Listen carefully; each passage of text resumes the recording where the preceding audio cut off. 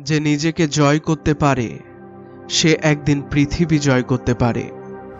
যে নিজেকে দমন করতে পারে না, সে নিজের জন্যেও বিপজ্জনক এবং অন্য সবার জন্যেও।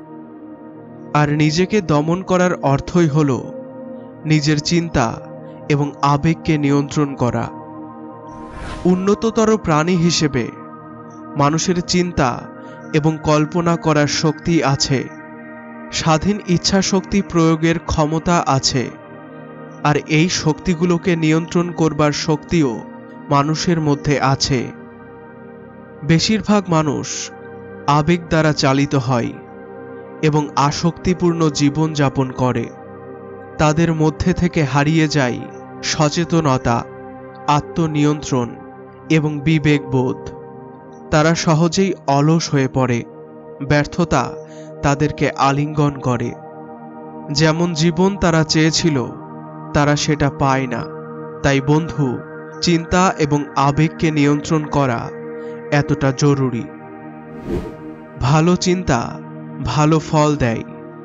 খারাপ বা নেতিবাচক চিন্তা নেতিবাচক ফল বয়ে আনে। যে ব্যক্তি চিন্তার স্রোতকে সঠিকভাবে চালনা করতে পারেন তিনি তার জীবনকে নিয়ন্ত্রণ করতে পারেন। চিন্তাকে নিয়ন্ত্রণ করবার অর্থ এই নয় যে, মনের মধ্যে কোনো চিন্তা থাকবে না। প্রাথমিকভাবে, মনকে সম্পূর্ণ চিন্তাশূন্য করতে চাইলে তা বিপজ্জনক হতে পারে। চিন্তাকে নিয়ন্ত্রণ করবার আসল অর্থ হল ইচ্ছামতো মনে ইতিবাচক চিন্তার প্রবাহ সৃষ্টি করা এবং খারাপ বা নেতিবাচক চিন্তাকে বন্ধ করা।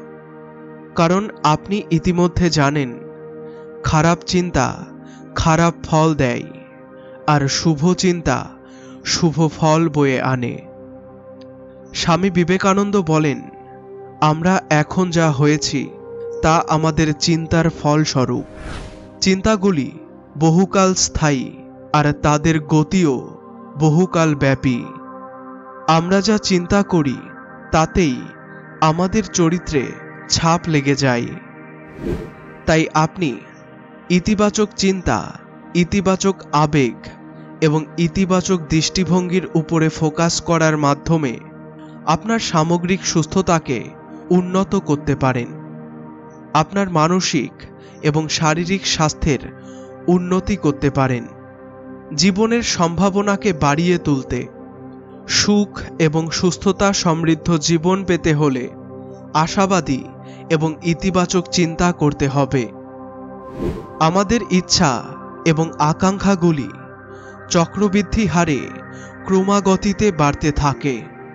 এমন আকাঙ্ক্ষা ও আবেগকে নিয়ন্ত্রণ করার মাধ্যমে মানুষ তার লক্ষ্যে অটুট থাকতে পারে।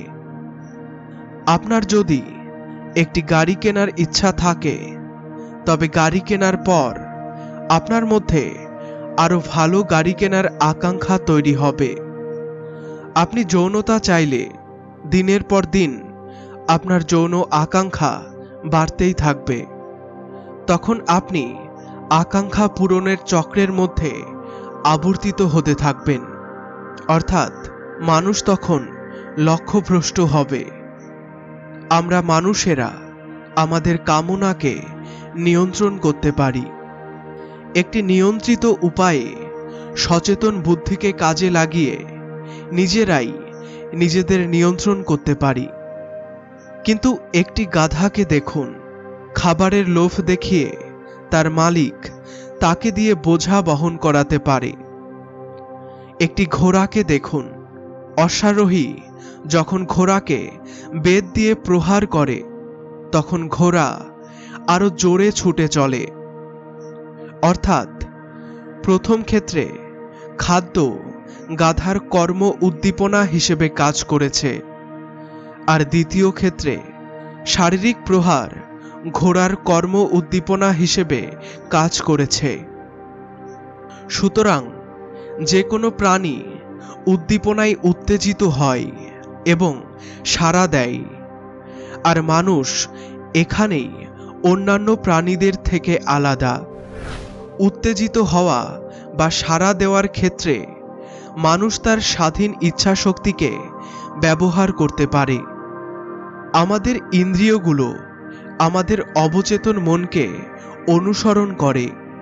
যে ব্যক্তি তার অবচেতন মনকে নিয়ন্ত্রণ করতে পারে না, সে কোনো কাজে ফোকাস করতে পারে না। জীবনের লক্ষ্য থেকে সে সরে যায় খাওয়া, ঘুমানো, যৌনতার মতো কাজ আমাদের অবচেতন মন দ্বারা নিয়ন্ত্রিত হয়ে থাকে। তাই অসময়ে মানুষের বিশ্রাম নিতে ইচ্ছে করে।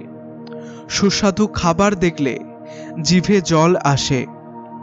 কিন্তু বন্ধু, সচেতন মনকে কাজে লাগিয়ে আপনি অবচেতন মনকে নিয়ন্ত্রণ করতে পারবেন। আপনার সচেতন মনে ভালো বা সৎ চিন্তাগুলিকে প্রবেশ করান, আর এর জন্য আপনার নিজস্ব ধর্মগ্রন্থ পাঠ করুন। প্রতিদিন একটি নির্দিষ্ট সময়ে পবিত্র গ্রন্থ পাঠ করার অভ্যাস করলে আপনার মন সারাদিন পবিত্র থাকবে।